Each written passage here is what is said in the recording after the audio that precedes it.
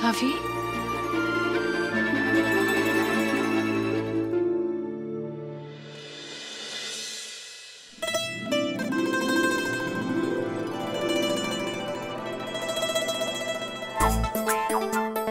अरे इस कमरे में से कौन निकला? इस कमरे में तो हमारी सभी गई थी। तो ये कौन है? हमारी सभी कहाँ गई? अरे मैं ही हूँ सभी। क्या? बात कर रहे हो। हमारी सभी तो एकदम प्रिंसेस लग रही है। सच्ची मुच्ची अच्छा एक बात बताओ। आपने मुझसे कहा था कि आप ये वाली ड्रेस तब पहनेंगे जब आप अपने बाबा से मिलेंगे। हाँ पता नहीं। मेरे पापा कब आएँगे और मैं रोज रोज भी खुद ही डाली हूँ ना। तो मैंने सोचा मैं ये पहन ही लेती हूँ। गुड चॉइस मैं अपनी बच्ची को कैसे बताऊँ? कि उसके बाबा आ गए हैं। उसने अपने बाबा के आने पर ही ड्रेस पहनी है। और आपको पता है पूरे संगत मीनू ने भी मुझे यही बोला था यही ड्रेस पहनने को। अच्छा? अब चले। आ, एक मिनट।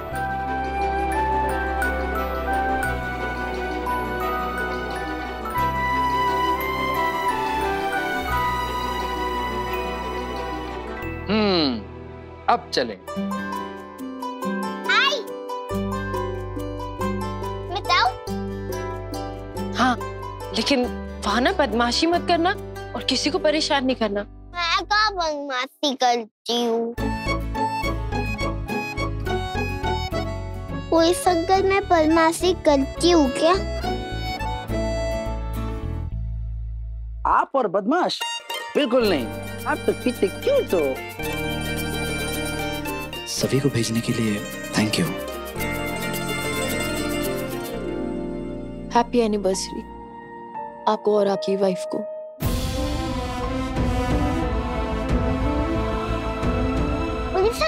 लेकिन मैं ये कार्ड आपको पार्टी में ही दूँगी ओके ओके चले? हाँ।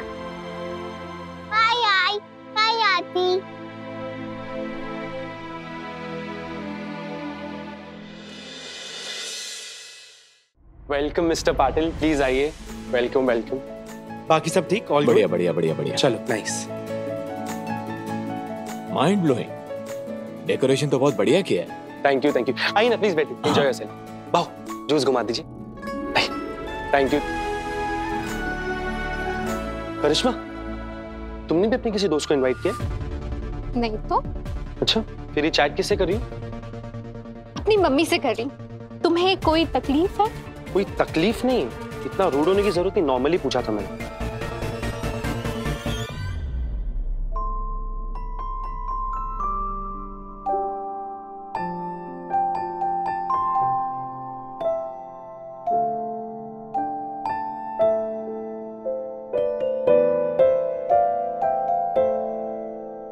क्या हुआ?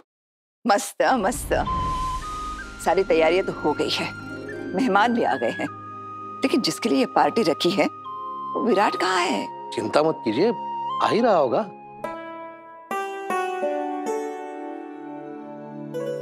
एक मिनट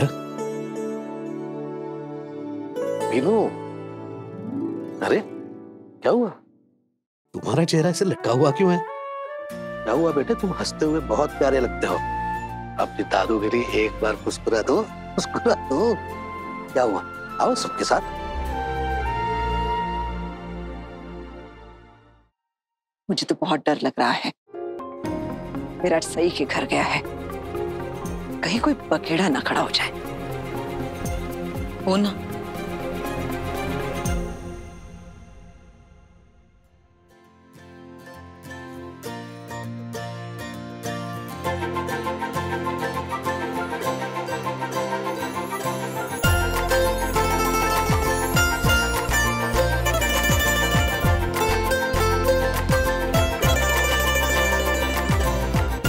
पत्रलेखा को ये नेकलेस भी तुम पे कितना सुंदर ब्यूटीफुल खूबसूरत लग रहा है। हाँ बहुत अच्छा लग रहा है। और पत्रलेखा तुम भी बहुत अच्छी लग रही हो। थैंक यू मस्त मस्त। एकदम नई नवेली दुल्हन की तरह। मेरी बात मान ले हनीमून का टिकट भी ले। और जल्दी से विराट के साथ कहीं घूम कर आ जा। काकू अभी वीनू का इलाज चल रहा है। और हम कहीं बाहर जाने के बारे में सोच भी नहीं सकते। तो कोई बात नहीं। इलाज तो हो ही रहा है। और खंडोबा की कृपा से वीनू बहुत जल्द ठीक भी हो जाएगा। उसके बाद चली जाना और लौटकर हम सबको एक अच्छी सी खुशखबरी सुना।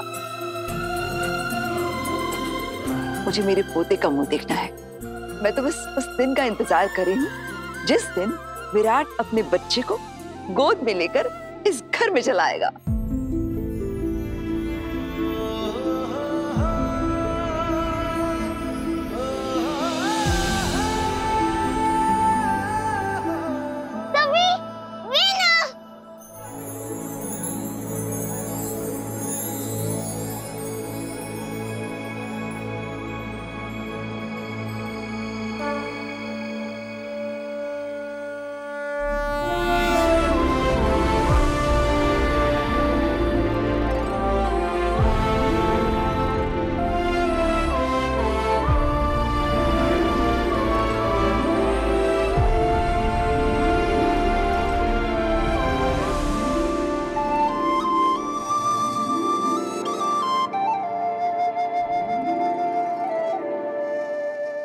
थैंक यू वही इस बच्ची ने घर में कदम रखा और शंखनाद हुआ। नवरात्रि का वक्त है। आसपास के घरों में दिन में दो बार आरती और शंखनाद सुनाई देता है। ऐसे मत बोलो कि कोई दैविक चमत्कार हुआ है। नहीं नहीं मैंने ऐसा थोड़ी कहा। मैं सिर्फ़ वही कह रहा हूँ जो देख रहा हूँ। वजह जो भी हो शंखनाद तो हुआ है। सभी आज तुमने अपनी स्पेशल वाली ड्रेस पहनी है? हाँ। वीनू तुम्हारा घर तो बहुत पता है। अब देखो मेरे घर में रहते भी तो इतने सारे लोग हैं ना। मैं तुम्हें उनसे मिलवाता हूँ। हाँ।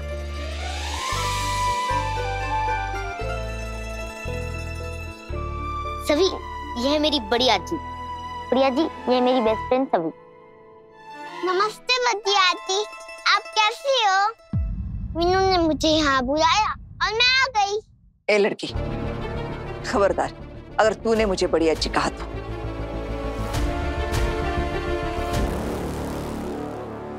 मीनू मैं गुस्से बड़ी आजी का नाम क्या है?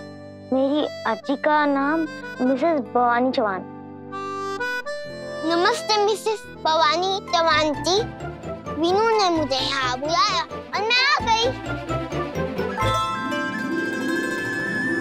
बिलांग पर की छोकरी मुझे नाम से पुकारती है। लेकिन आपने तो मुझे आजी बुलाने से मना किया ना तो आपको नाम से ही पुकारूँगी ना।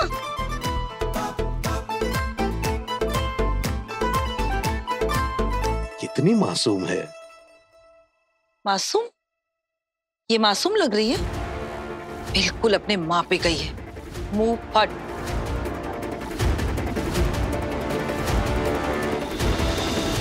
सभी औरों से मिलते हैं। ये है मेरी बुआ दादी।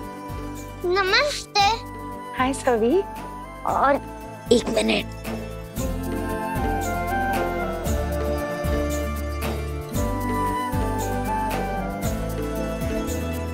लगता है सब लोग भूल गए हैं।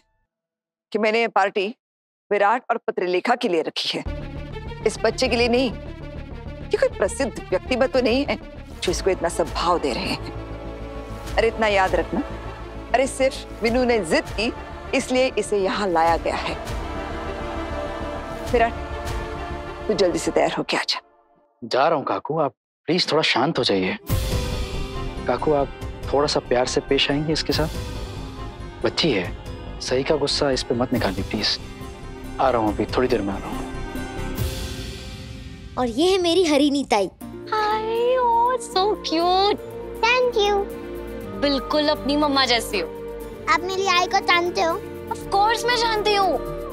बहुत अच्छे से जानती हूँ। है ना नानी? वीनू? बेटा तुम सभी को अपना घर नहीं दिखाओ हाँ मम्मा। चलो सभी। मैं पूरा घर दिखाता हूँ